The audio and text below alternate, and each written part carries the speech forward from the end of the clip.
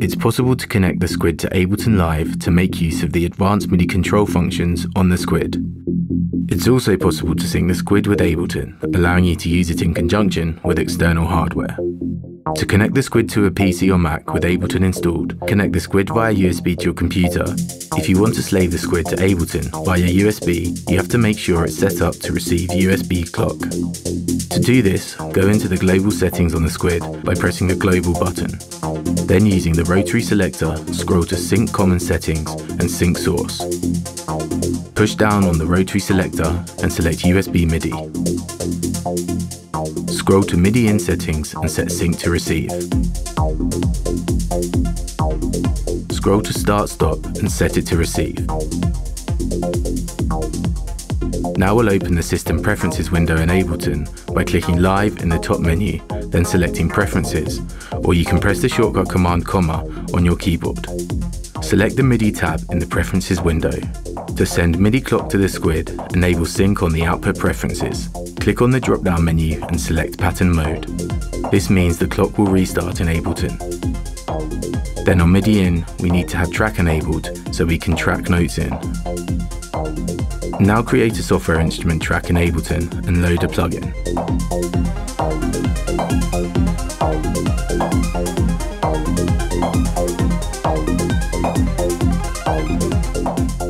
We'll set the MIDI output terminal on the Squid for track 9 to USB channel 1. Next we'll change the All Ins tab on the MIDI track so that it reads Squid. And we'll click the All Channels box and set it to channel 1. Now arm the track by pressing the Record Arm button. Press play in Ableton. You should now be able to send MIDI information to the plugin from the Squid.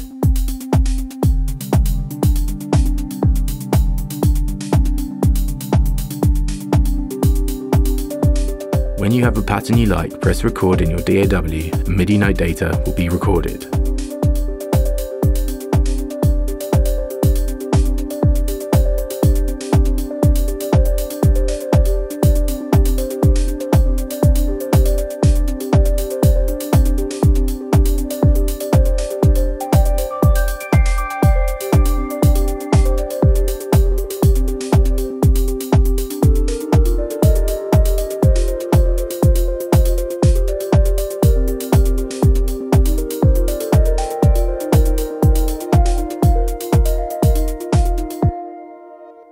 If you would rather slave Ableton to the Squid, repeat the process, but this time select Internal.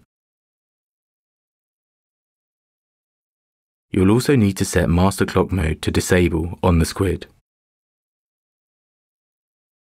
Then scroll in the Global Settings menu to where it says MIDI Out Settings USB Start Stop.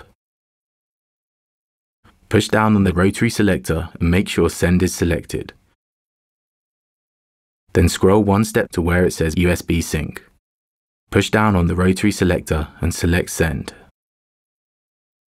The Squid should show up as a MIDI device. In order to send MIDI from Ableton to the Squid, we need to make sure the track and remote buttons are on.